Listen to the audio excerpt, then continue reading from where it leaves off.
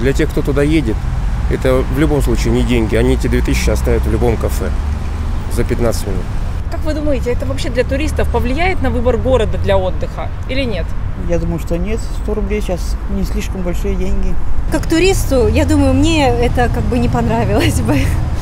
Вот, потому что, ну, как бы в Петербурге много очень красивых мест, э, э, которые мы и так посещаем как бы за деньги, и я думаю, город имеет достаточный доход.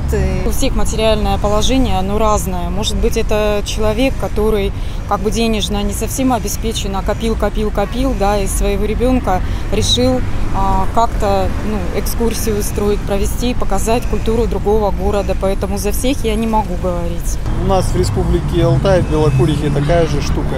Никого не отпугнула. Для вас важно, куда пойдут эти деньги? Если был какой-то отчет, хотя бы там ну, в конце года было бы где-то выложен в общем доступе, интересно было бы на это посмотреть.